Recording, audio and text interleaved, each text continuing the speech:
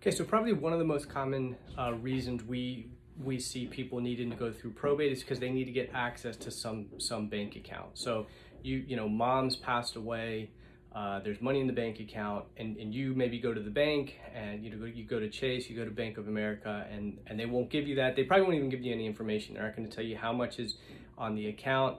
Uh, if you ask who the beneficiaries are and you're not listed as the beneficiary, they're probably not going to give you that information either. Um, and so now you're frustrated, you know, what, what do you need to do? Well, first, just because someone had money in a bank account doesn't mean probate's always going to be necessary.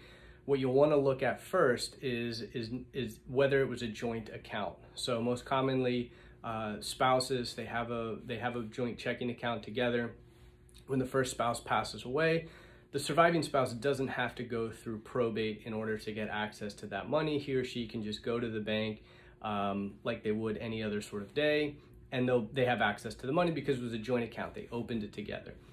The second one is going to be if there's beneficiaries, right? So if there's a beneficiary on the account, let's say mom had an account, she lists her son as the beneficiary, mom dies, uh, the son would be able to go into you know the bank, Bank of America, wherever, and they've got his his information on file. He shows his birth cert- or his uh, his ID, and they'll release the money to him. You know, most likely right then and there.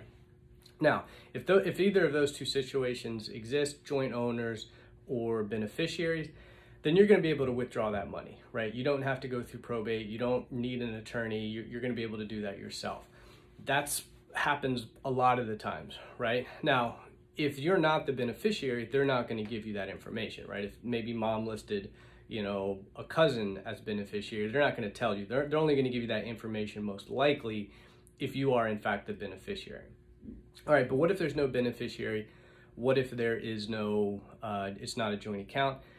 In that case, you're going to have to open a probate, right? The most likely the bank is going to want to see uh, a personal representative or an executor even if you have a will, right? Even if mom did a will and listed you as the as the sole beneficiary, you're not going to be able to go to Bank of America, Chase, wherever, show them a copy of the will in order to withdraw money that's in the bank account. You're still going to have to go through the probate process, get named as the personal representative, get named as the executor, and then there's a whole legal process, and then eventually you'll be able to withdraw the money. But the first thing you want to do uh, is just find out if it was a joint account, if you can, uh, or find out if there's a beneficiary. And if e either of those are, are, are the case, you'll get access to the money. If not, then you're going to have to go through the probate process.